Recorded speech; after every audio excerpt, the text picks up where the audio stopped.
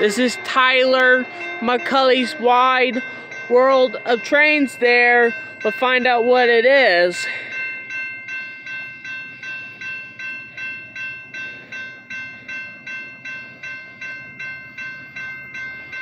That's a BNSF Superman unit.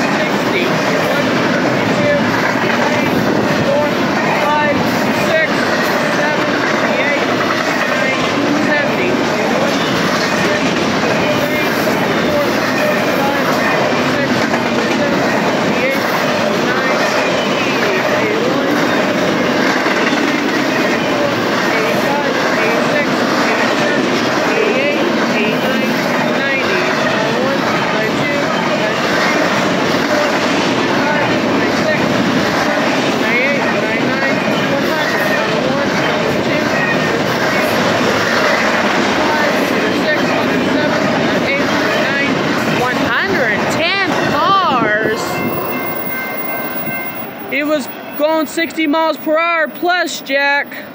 Symbol that train was BNSF ES44C4 Superman unit.